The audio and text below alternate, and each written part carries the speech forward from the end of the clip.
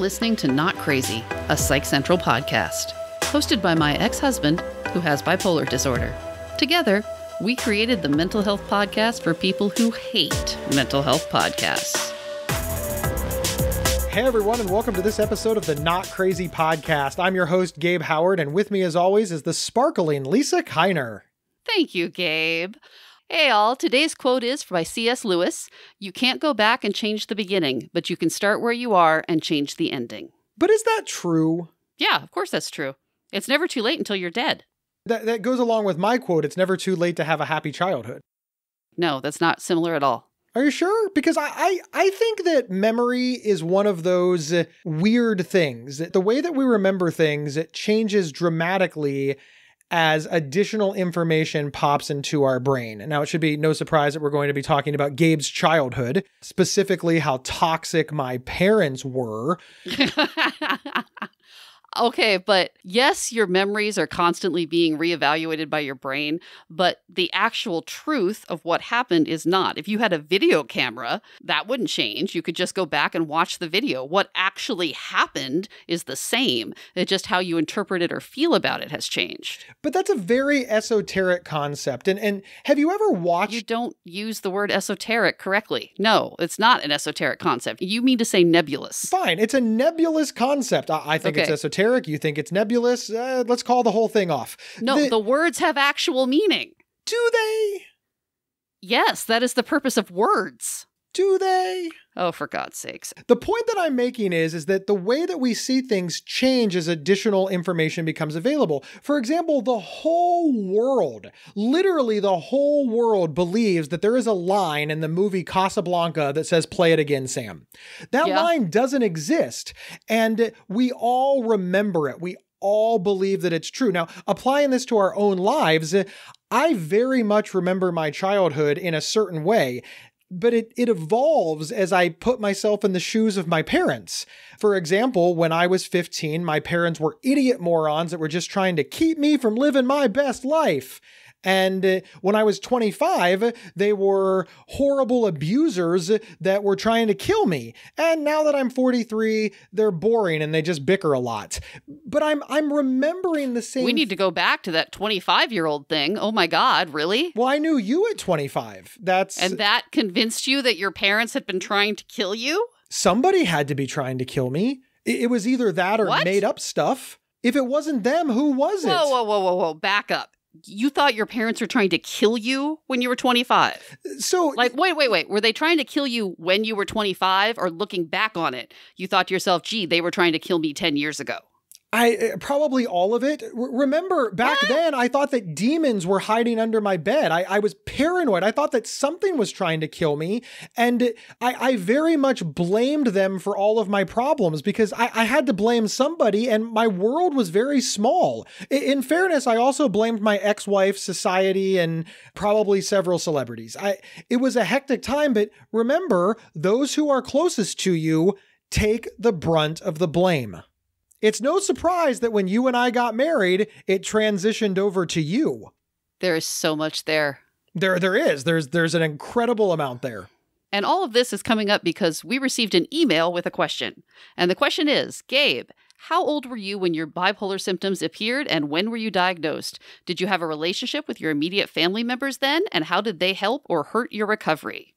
Obviously, we're going to discuss this a lot more because, you know, we need to fill a longer show. But the speed round answers were the symptoms were kind of always with me. Nobody just recognized them, right? I, I thought about suicide as far back as I can remember, like literally from birth. Yeah, it was just always part of me. I, showed symptoms of bipolar disorder in my teen years.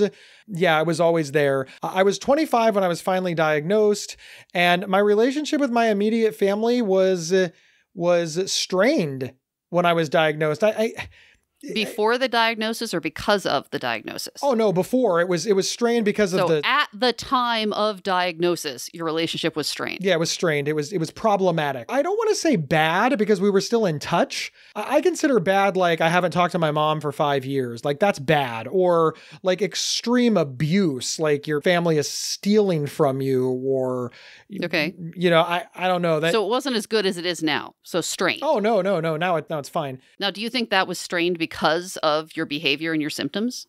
Oh, yes, yes. W- without a doubt, my behavior was very problematic, both in the way that I treated them and in the way that I perceived they treated me.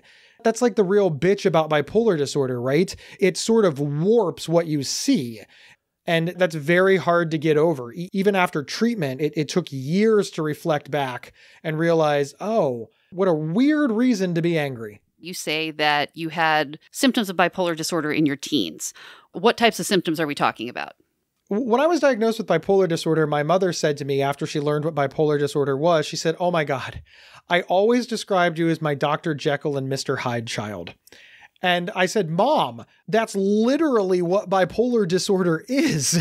How did you not think that something was wrong? And she was like, Well, I just, I thought it was hormones. I, I thought it was boys will be boys. I, I thought it was the teenage years. I, in my parents' defense, I'm the oldest.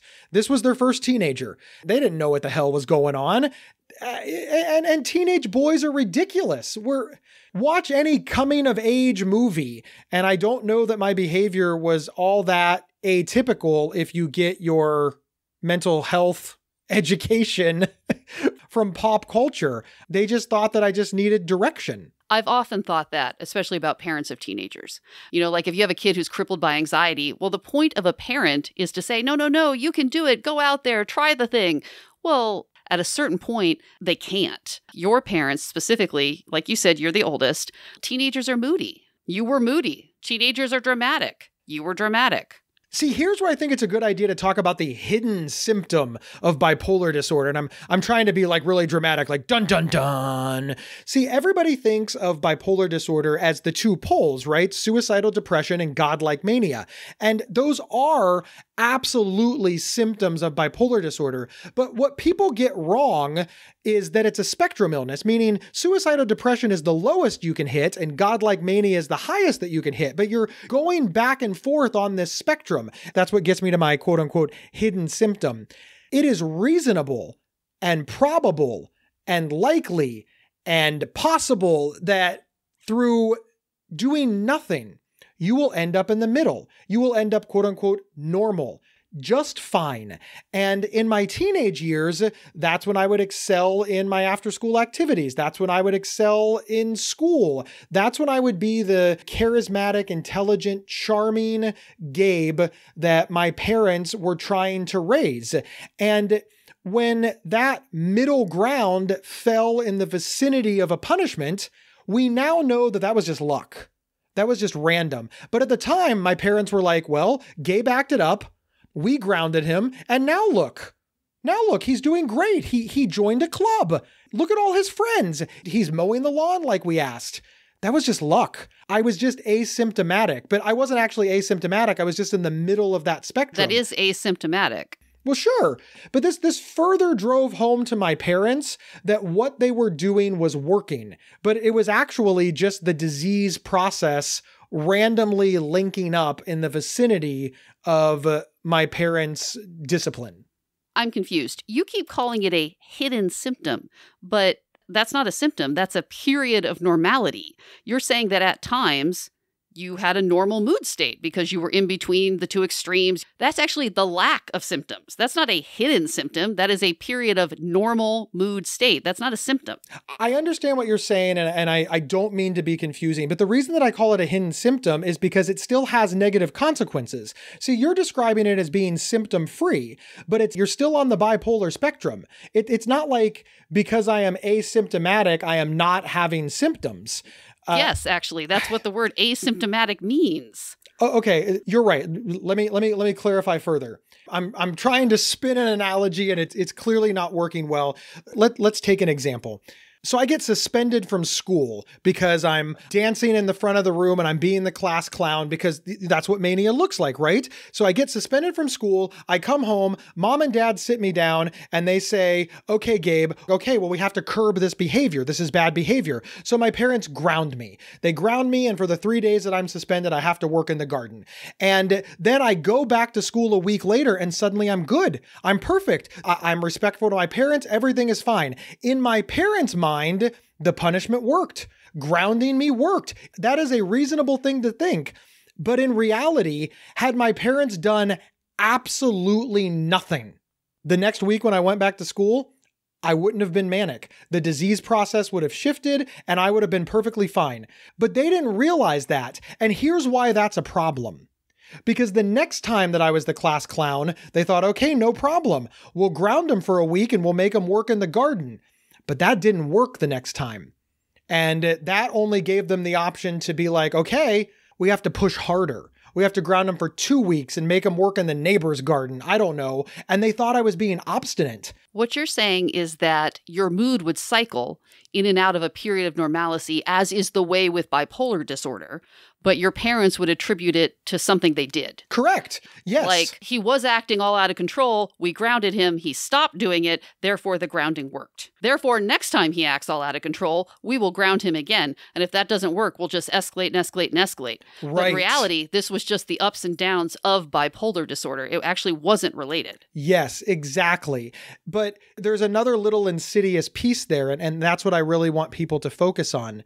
My parents believed that I could do it. You're asking, why would they try to ground the symptoms of an illness out of their child? How sick is that? Could you imagine if I came home with a broken arm and they're like, well, you're grounded until your arm's not broken? Uh, that, we call children's services. That, that's sadistic. You grounded your son for having a broken arm, but remove broken arm and, and put in mania, depression, rage. That's what they tried to do. They literally tried to punish the symptoms out of me. And you're asking, why on earth would they do that?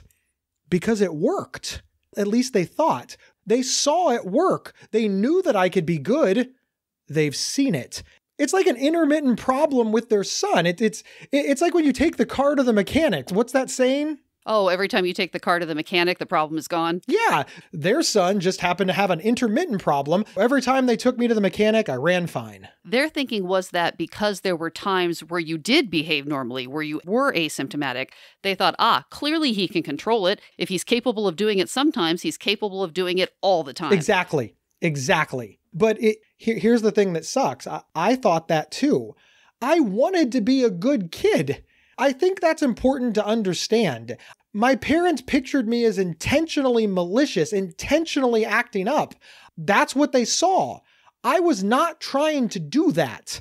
Well, I thought that my parents were boring and, well, stupid, and I didn't want their life in any way because of the, you know, aforementioned boring and stupid thing. I did respect my parents. They worked hard. They paid their bills. They were active in their community. And make no mistake, even in my angriest moments, if I got in trouble, I called them. There was never a time, never a time that I got in trouble that I thought, well, I can't call my parents. I always knew that I could call them. But yeah, yeah, it, it, it I, yeah, I, I don't even know what to say. I just, I, I, I felt I always knew I could count on them. So, to summarize, did I have a relationship with my immediate family members? Yes, but it was incredibly strained because of, well, all the things that we just talked about. We're talking about did you have a relationship with your immediate family at the time of diagnosis? That was when you're 25. You must have left home at 18 or 19. what happened in those intervening years? I moved out when I was 18 and still in high school because I just had to get away from them. I, I just, I, I couldn't stand them. But you moved in with your grandparents, right? Yeah, I could stand them. I liked them. it's not like you moved out on your own. You just went to stay with other family. Yeah, I, I was willing to go out on my own. I, I, I just. But your parents thought that was a terrible idea. Th- this is where memories change, right? Here's what 18 year old Gabe thought happened. My parents were assholes. I can't take them anymore. I'm not dealing with this shit. I'm out of here. Grandma saved me right? That's what Gabe thought was happening. Here's what actually happened Gabe was ready to run away from home and do whatever it took to be away from them. And my parents called my grandparents and said, okay, we need to work together to make sure that he graduates high school and save him from himself because he's getting ready to run face first into fire and he's too stupid to realize it. And they all worked together for the next two years to make sure that I got a, a high school diploma, to make sure that I matured, to make sure that I made friends, that I was in mock trial, that, that I had something to fall back, that I learned computers. My my parents still paid all my bills, even though, you know, under my breath I called them assholes all the time. And they knew that I called them assholes. They're not stupid. I ran away from them. That's what actually happened. That's a really big difference. So it's hard to be mad at them now that I see the full picture, but I was so mad at them when I left, Lisa. So mad. But why were you so mad? What were they doing wrong? They were punishing the symptoms of bipolar disorder. But none of you knew that. You thought it was bad behavior, and so did they. Why would you be angry about that? Because I just felt so strongly that I was trying and that they didn't recognize it. Hmm. I, I don't think my parents realized how desperate I was to make them happy. I, who who wants to be a bad kid? I, I did want my parents' respect. Hell, I still want my parents' respect. You, I never thought my parents were bad people. I, I thought they were boring. I, I'm not trying to rewrite history to where I suddenly thought my no. I, I thought my hell. I still think they're boring. If, if I have to hear about one more episode of Ice Road Truckers, I I, I may scream. But who cares? Your father has regaled me with many stories of the cinematic masterpiece that is Ice Road Truckers. Yeah. Oh, that's awesome. Uh, it never gets more interesting. Never. But your parents weren't completely oblivious that there was more than normal teenage angst going on here because they did take you to a psychologist. That's true. This would have been in the early 90s.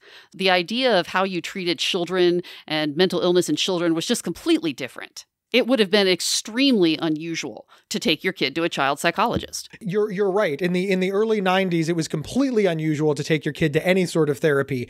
But wait, there's more.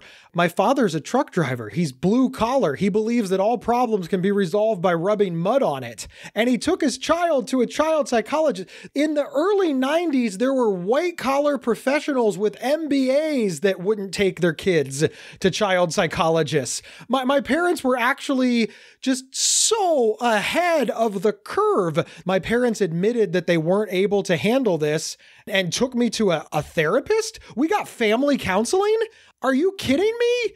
There, there's families that struggle with that in 2020. They were progressive. Well, it couldn't have been easy. There weren't very many child psychologists running around. It was probably quite a lot of effort to even find someone. I have no idea how they found my child psychologist, but yes, we went to family counseling. what made them decide to do this? What was the breaking point? I honestly don't know what the breaking point was, but yeah, like what a question that would be. You, you know what I mean? I, I'm, we should call your mother and ask. That might be the next episode. maybe I don't want the answer.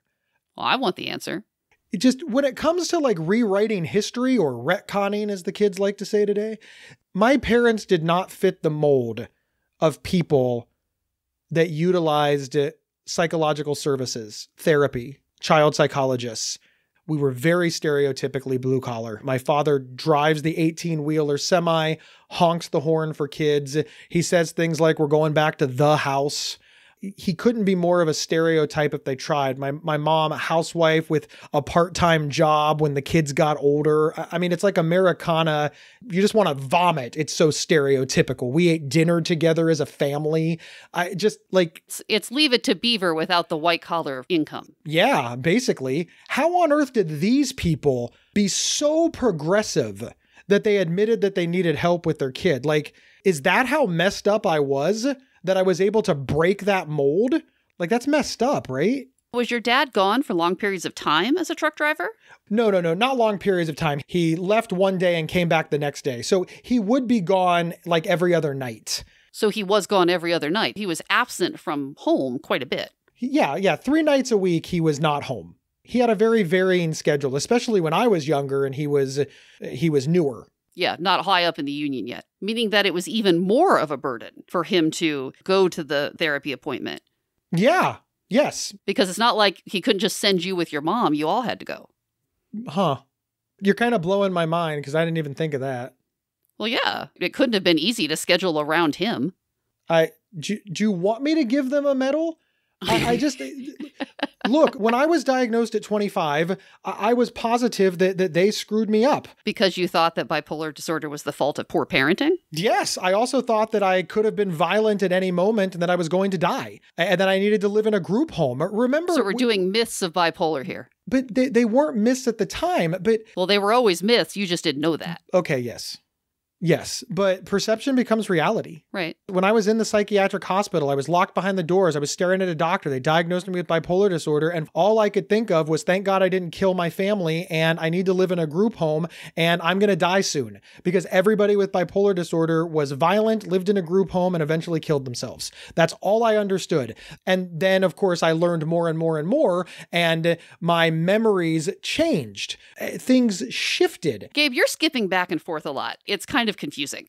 What do you need clarified? This is just my life. It's all jumbled in my brain as Well, let's go back to the part where your parents are taking you to the child psychologist. So clearly, they've discovered something is wrong. This is more than just being a normal teenager. We can't handle this. We need to reach outside for professional help. What happened? Did it work? Don't Did know. you get better? No, I don't know. Didn't you go there for like years? I mean, it's not like they took you once and stopped. I, I honestly don't know if it helped me understand them, but in, in some ways, I think that it helped my parents understand me. My my family believes in paddling. My dad had a paddle that had a handle, and he whacked me on the butt with it. And I was terrified of this thing, and it was demeaning and degrading, and plus it's violence. I I see it very much as violence, and I. I, I said all of the things that I just said in the therapist's office, and he said, "You know, Gabe's really old. Why are you still threatening him with violence?" And my dad's like, "Well, it's just paddling," and he's like, "Well, but it's violence. You're you're saying that the way to work out problems if you don't like how your son is behaving is not to talk to him, but to threaten him with violence." And this made my parents get rid of not only the actual paddle, but the threats of it, and it forced them whenever there was behavior that they didn't like to discuss it with me. There's this little piece of me that's still pissed off that I had to endure this shit for 13, 14 years, but my brother and sister who are younger, it disappeared immediately for them too. So you're welcome. Hang on, we'll be right back after these messages. Interested in learning about psychology and mental health from experts in the field? Give a listen to the Psych Central podcast, hosted by Gabe Howard. Visit psychcentral.com slash show or subscribe to the Psych Central podcast on your favorite podcast player.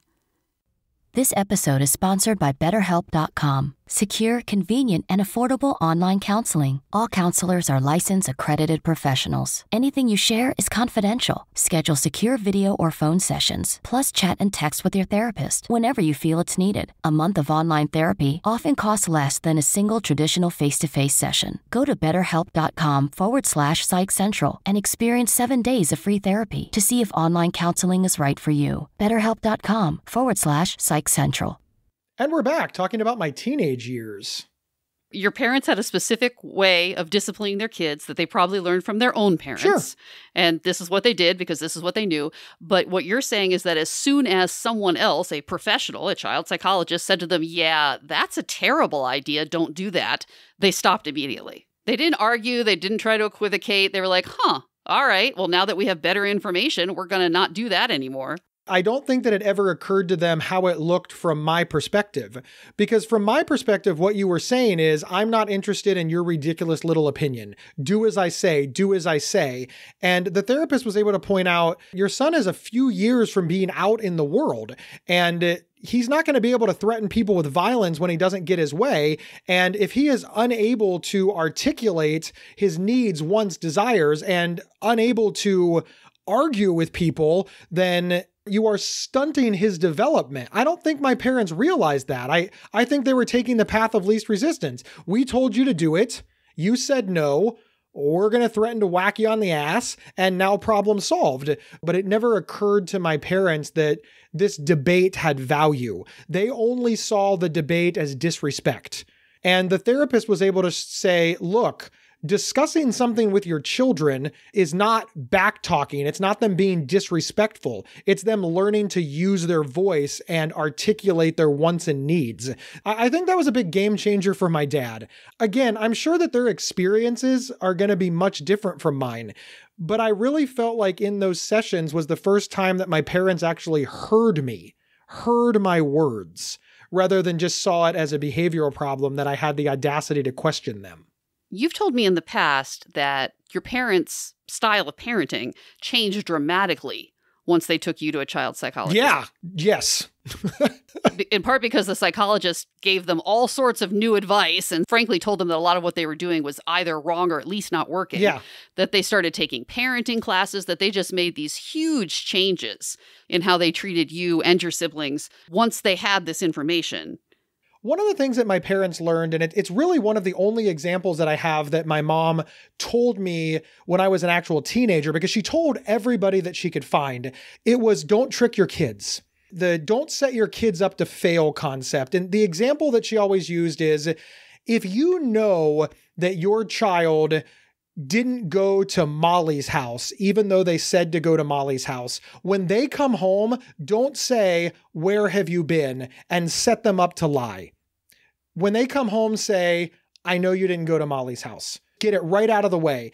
And that this this setting up your children to lie is just exacerbating the problem. Your kids are going to mess up. They've already messed up. You've already got a problem. Just address the problem that you have. Don't create new ones. This made a profound impact on my mother so much so that she just told everybody that she could find.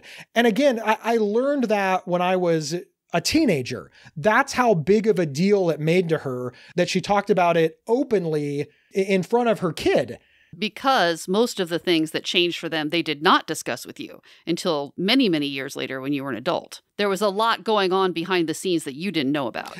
Yes. One of the things that I learned as an adult is that my parents actually asked the therapist if they were bad parents.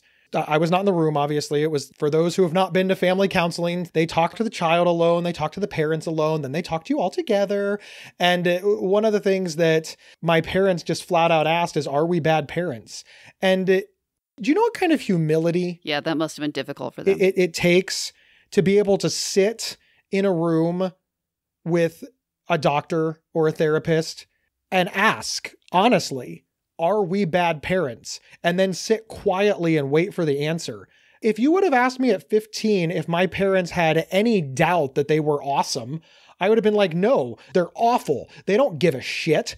But they actually had this, this self-doubt, this care and concern. I I did not know at the time that they were capable of that because after all, I just I just saw them as this overarching force that got to make all the rules and had all the power when in actuality they were struggling. And they did not let you know how much they were struggling and how much they changed in response to this. Yeah. Yeah. I had no idea. When you've talked to me about this in the past, you've always described things as getting a lot, a lot better after you started going to family therapy. But of course, things certainly were not perfect. And it didn't really work in that you continued to struggle. You continued to be extremely symptomatic and got in all sorts of trouble, dropped out of high school, just on and on and on. Does that mean it didn't work? Or does that mean that just, hey, you were still bipolar? This is where my dad is very angry. My dad believes very strongly that the child psychologist should have realized that I had bipolar disorder and diagnosed me with it and got me help before I really got into a lot of trouble. We have spent a lot of time my family and I, my father and I, debating and discussing this point for what it's worth, I understand why my dad wishes that I would have gotten help sooner. He's not wrong. And I understand his frustration because he's like, look, I, I did everything I could. Right. What more was I supposed to do? Right. But 15 year olds just weren't diagnosed with bipolar disorder back then. They're, they're not really diagnosed with bipolar disorder now. I don't blame the child psychologist for not diagnosing me. I thought about this a lot. I've gone back and forth a lot, and I am 100% confident that diagnosing me with the information that he had, with what he heard from my parents and what he saw, would have been wholly irresponsible and would lead to way more false positives than it would actual positives. So I, I want to say that very, very clearly. But yeah, my dad is still, frankly, he's pissed about it. it, it comes up pretty much once a holiday. well, but again, that just isn't how it was done at the time. Yes. But to your question, yes, things got a lot better. But of course, the underlying issue of bipolar disorder was not actually resolved. The grandiose thinking, the, the demons under the bed, the anger, the mania, the depression. My parents started doing things better and having more patience and more understanding and and moving forward in a much healthier way. But ultimately, if you don't rectify the core problem, you're sort of handcuffed on how much better you can do.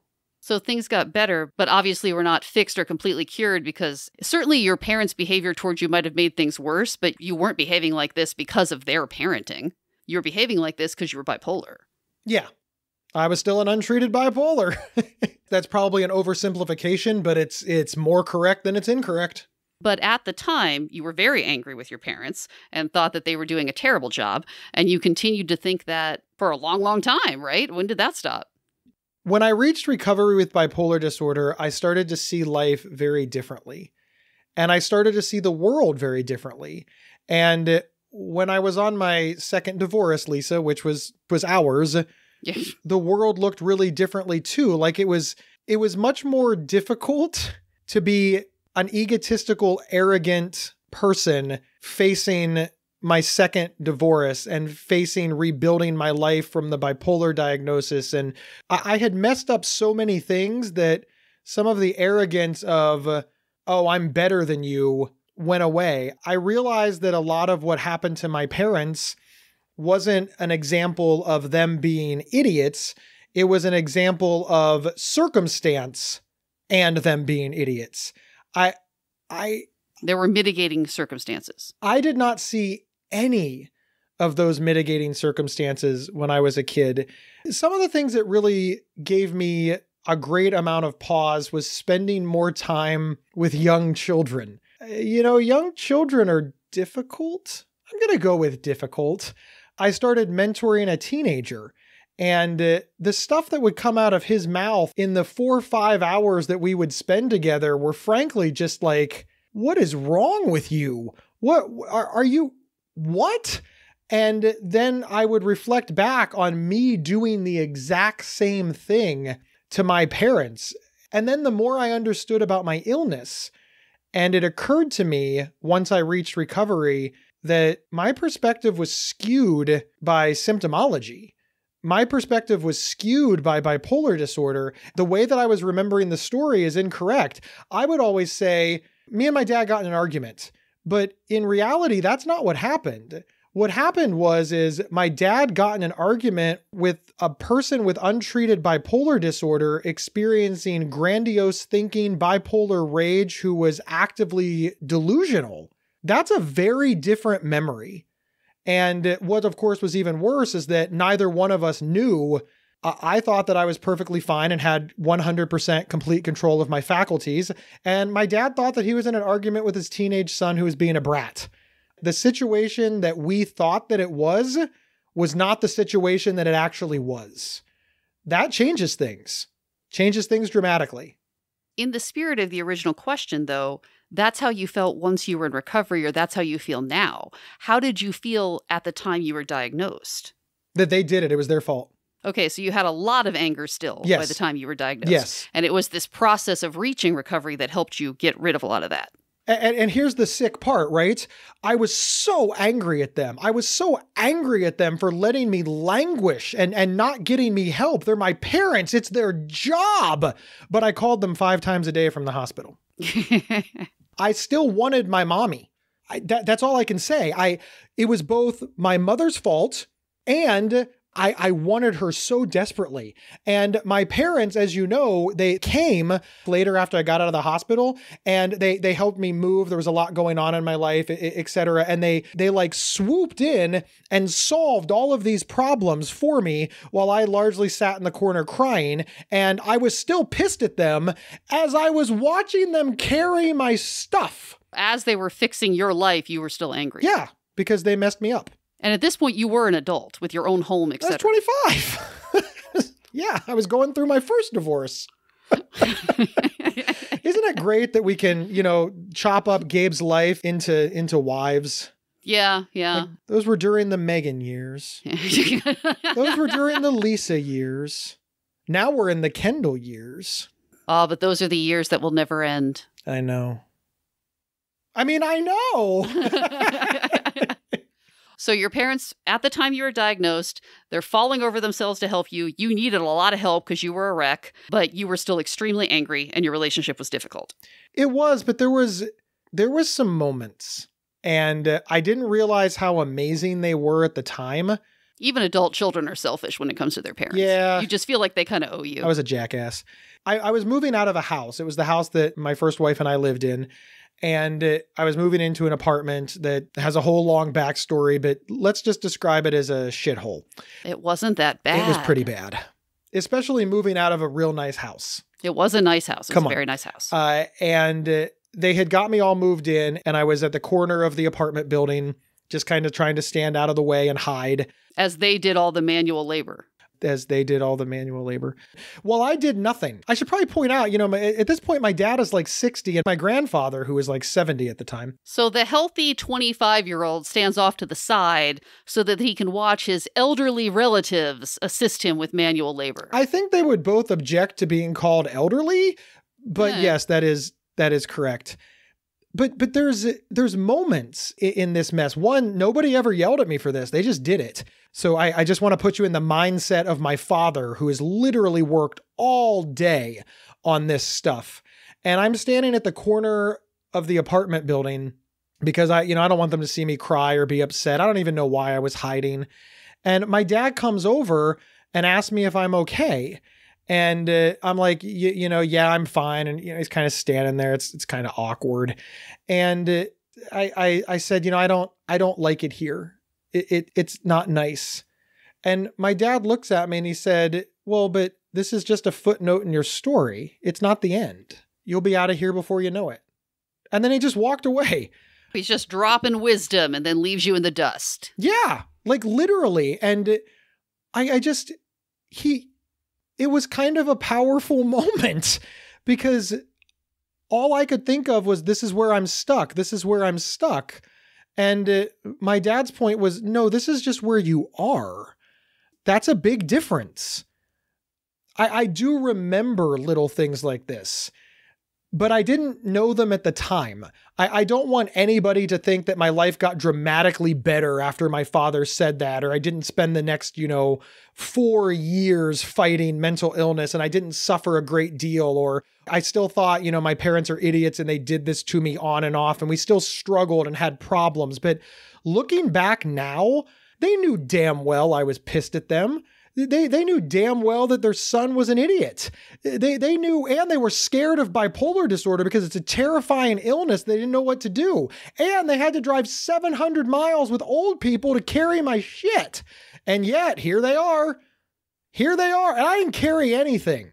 I carried nothing. Well, also, they both had responsibilities at home. They both still had jobs. Your mother was caring for grandchildren, and they dropped everything and drove to another state They did. to try to rescue you. I I mean when you say it that way.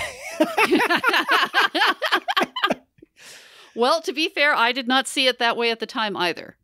At that point, every story you'd ever told about your childhood was more horrifying than the last. yeah. It was just constant horrifying. Yep. You told me this horrible story about how your mother actually knocked you unconscious once. Ah, the softball story. The way I heard the story is Gabe was a teenager and was being difficult, as teenagers are wont to do, when his mother couldn't take it anymore and threw a softball at his face, knocking him unconscious. And then you're like, oh, Lisa, meet my mom. I'm like, oh, this will be great. You know what a fish story is? Okay, fair, fair. A fish story, of course, is true in that the person was fishing and the person did catch a fish. But the six inch fish becomes a two foot long fish. The story is true. My my mother did in fact throw a softball and it did hit me and it, it knocked me down. I don't I didn't lose consciousness. I don't and I don't remember saying that to be honest. I, I think that might have been inferred, but it doesn't you told matter. me that you got fuzzy and that you had a terrible headache for the next couple of days. And I thought to myself, well, that's a concussion. That's that that could be true, but the devil's in the details, right? Let's set a little more of the scene. At this point, I would have been almost 17 years old. I, I weighed 400 pounds. I was six foot three, and uh, I was screaming at my mother. I was just screaming at her, yelling every word that I could think of because, uh, frankly, I was enraged. Now, remember, not only am I twice as big as my mother, a foot taller, I am also an untreated bipolar who is clearly symptomatic. And uh, upon the yelling back and forth, my mother picked up a softball and threw it over my head. I, I want to be clear, I knew she threw it over my head at the time because I didn't even duck. So she wasn't throwing it at you. No, she wasn't throwing it at me at all. Of course not. But it hit the wall behind me and bounced off and hit me in the back of the head and it knocked me over. And at that point, I became even angrier and just left. I just got in the car and drove off. Uh, what did your mom do? I don't remember. I don't think she did anything at that point. Obviously, when you tell the story, hey, mom and son got in an argument, mom lost her temper through softball. Yeah, my mom comes off really bad in that story, and I come off looking like the innocent child. When you tell the story, giant enraged man screams at woman, woman defends herself by throwing softball above head that happens to make contact, well, that, that starts to move the needle a little bit on culpability. I'm not defending my mother. She never should have thrown the softball. She doesn't think she should have thrown the softball. Nobody thinks that she should have thrown the softball. What my mother should have done was walk away. And we know that now. But it's a little bit unfair to hold my mom 100% accountable for the aftermath of dealing with somebody with untreated bipolar disorder. It, it's a chaotic scene. Again, do not throw anything at your mentally ill loved ones. My mother was 100% wrong. Or any of your loved ones.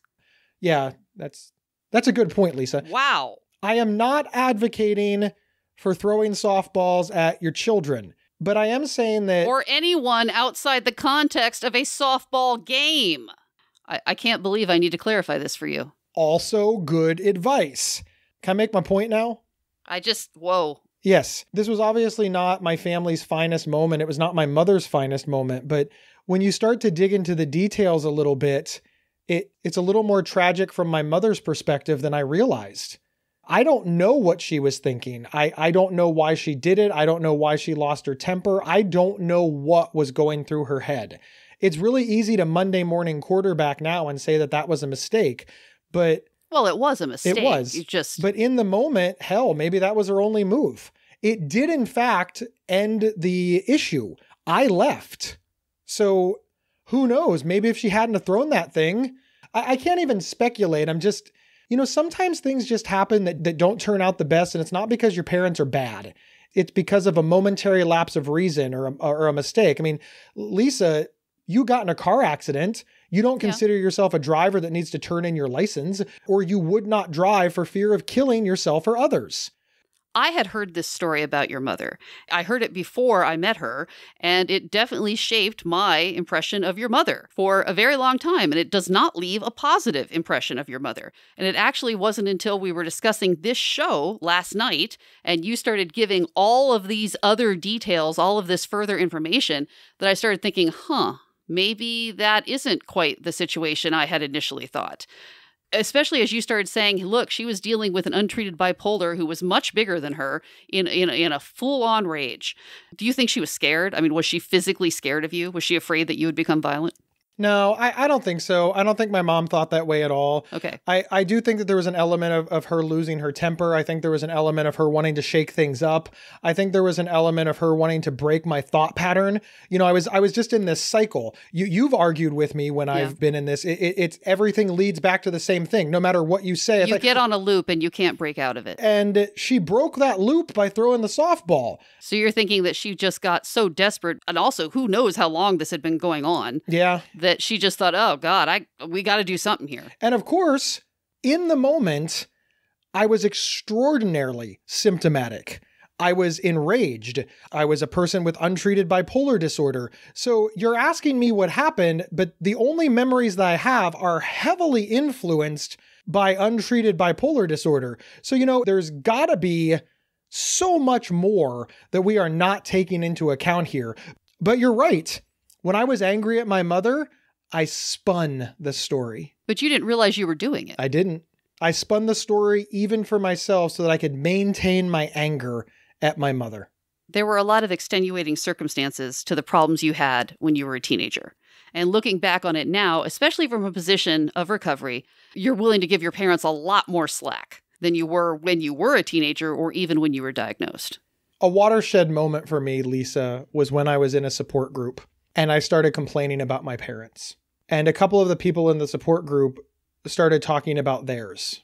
Their families had abandoned them, like literally. One woman talked about how she hadn't talked to her father in a decade and her mother was not allowed to talk to her but opened up a private email account so that they could email a little bit but her mother made it perfectly clear that your father is not on board with this and uh, I will never meet you in public and I will not provide any help for you in any way.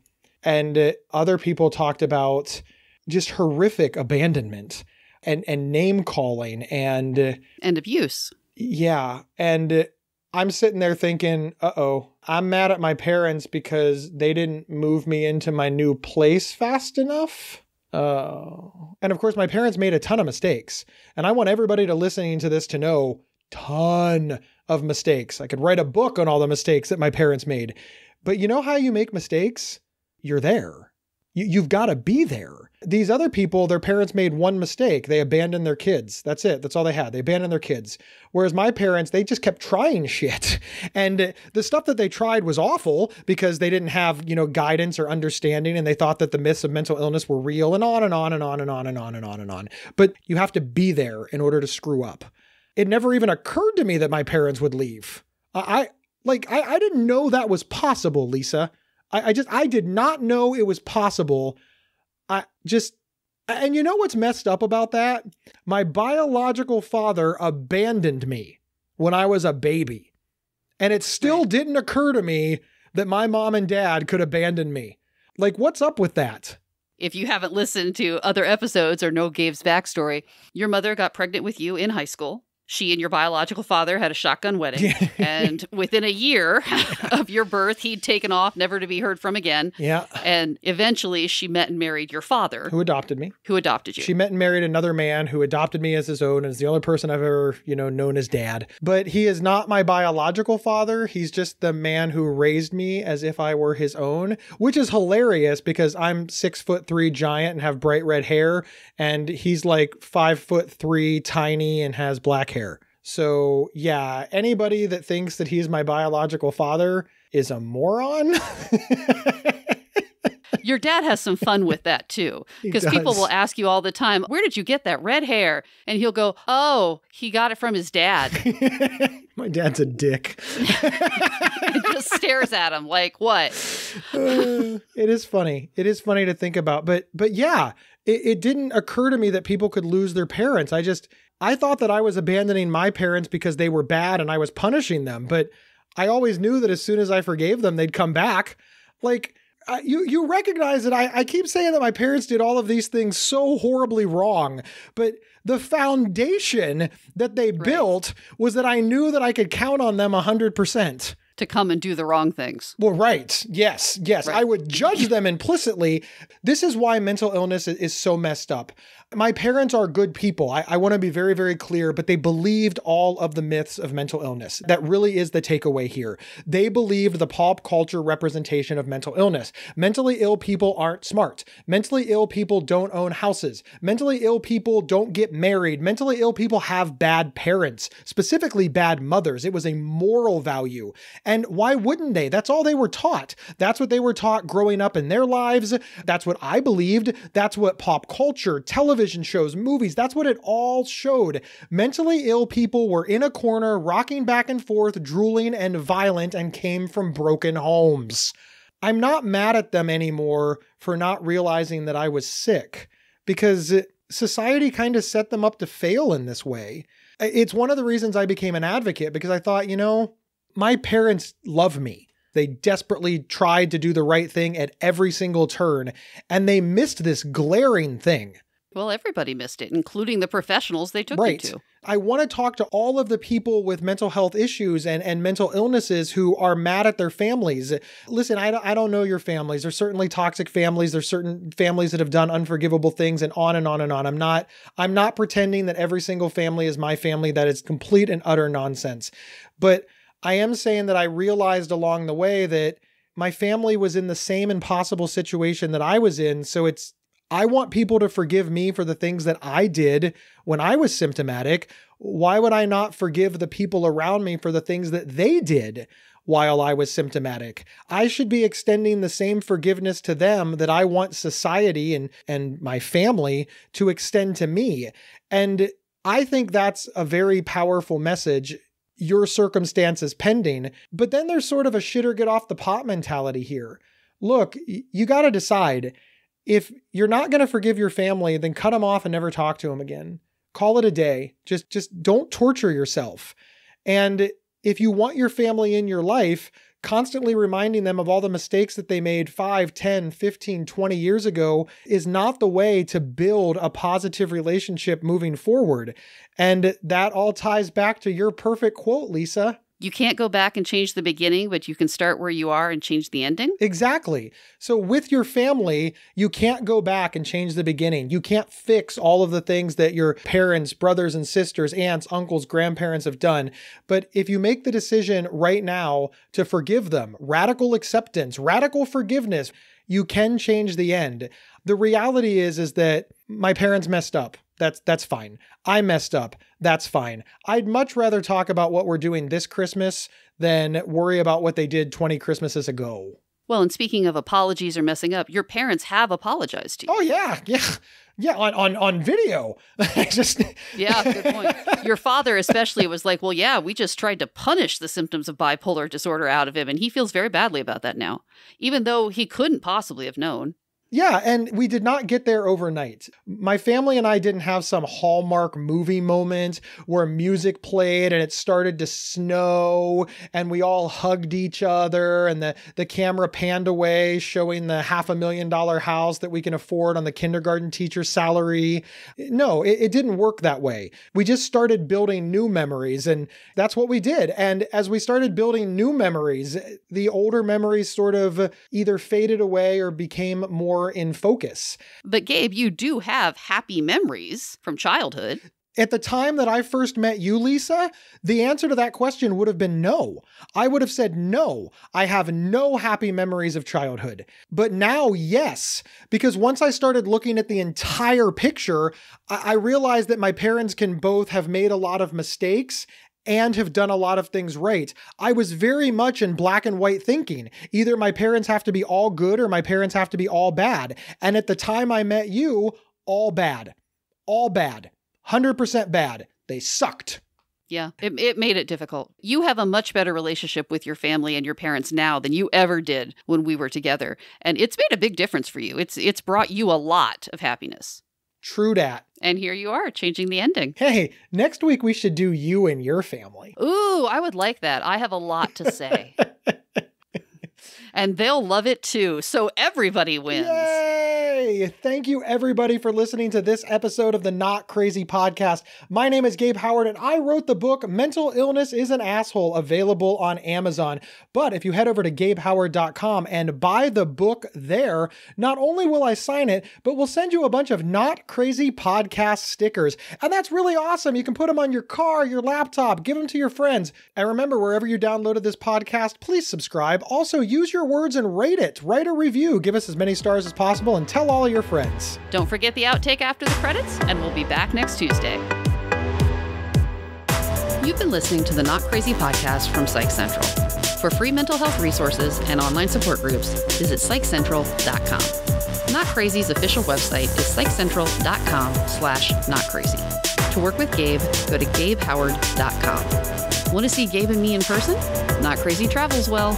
Have us record an episode live at your next event. Email show at psychcentral.com for details.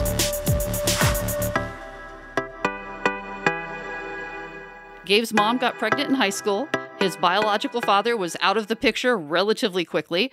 In Howard family lore, what we like to say is that my mom got knocked up, the dude took off, then she met a truck driver from Ohio, because remember, she lived in Pennsylvania. And I say remember like you all know me intimately. They've listened to all the episodes. Then they moved to Ohio, but that guy, that guy right there, adopted me, and he's the only father that I've ever known. That said, I, I don't want to dismiss the idea that I do have abandonment issues from my biological father taking one look at me and saying, oh, hell no.